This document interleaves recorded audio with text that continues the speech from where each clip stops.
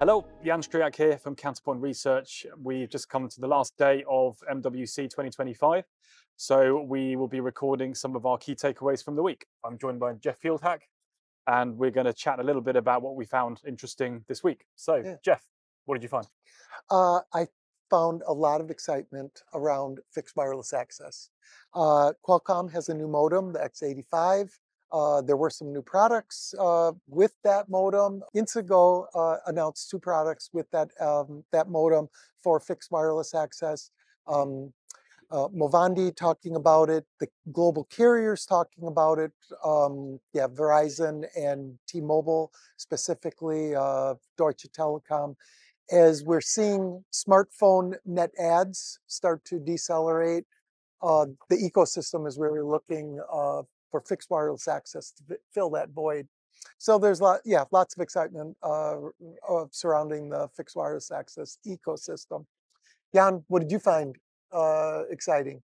Um, probably more uh, interesting was what I didn't find Mhm, um, this year in a slightly weird Mhm. way. Um, so, and that's around sustainability. Mhm.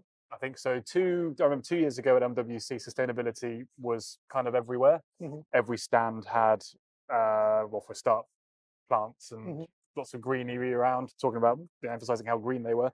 Mhm. Um, but there was a lot of talk about sustainability and the need to be more efficient or more environmentally friendly going forward. Last year, there was already visibly less of that, but there was still um, a fair few conversations around that in, in that space. But this year, I mean, hardly anything. It was hardly. It was really difficult to find anything um, on on sustainability. They, it was it was kind of there in an undercurrent. So obviously, the, one of the big features of this year was AI, um, and in the undercurrent of a lot of on the network booths and a lot of the operators talking about how they would be using AI to drive efficiency in their networks Mm. around network optimization and things like that. But generally, that was very much in the background, Yeah. and it was quite it was quite difficult to find um, much. So that that that is a that is a bit of a shame. Um, but one one thing that I did quite like, and I was quite surprised with, was the sheer size of the Xiaomi booth Yeah. this year. It was huge, um, two cars on it, which was always, which is always quite good. Um, and just the sheer range of Mm. products that they have and, and connected products and the kind of nice clean design, Mm.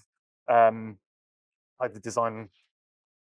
Language across across everything. yeah, That that was that was really really quite good. So yeah, sustainability not so much, Mhm. but some really interesting products coming out and some really a really cool car, which I hope will come to Europe sometime soon.